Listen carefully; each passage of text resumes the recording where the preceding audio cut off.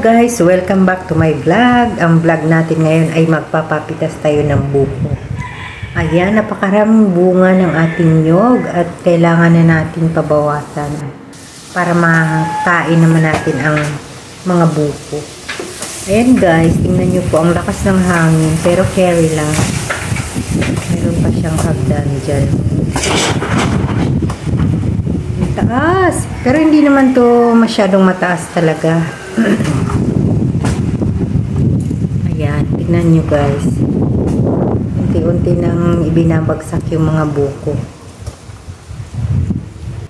Galing-galing niya talagang pumitas ng buko.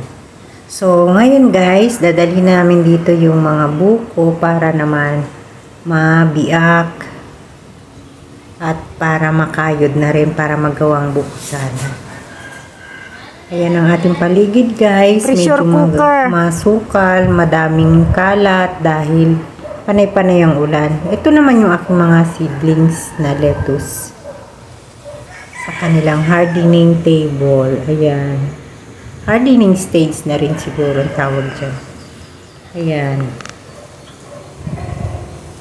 So, mataas na naman ang mga damo. Marami na namang lilinisin. Panay-panay kasi ang ulan at mabuti ngayon ay uminit-init ang panahon. Ayan, tingnan nyo guys. So, nandito tayo ngayon sa labas. Ang init. At tayo ay magbubuko salad. Ang aking mga bodyguard ay nandyan sa labas. At sila ay magkakayod ng buko. Ayan po, napakarami pong sabaw. Ayan. Ayan po, thank you for watching. Bye-bye.